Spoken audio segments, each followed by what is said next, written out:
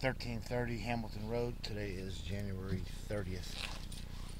Video inspection of the sewer lateral from a clean out in the yard. We went up to the house trap. 113 feet. We're going to pull back. And we're going to go downstream to the tap.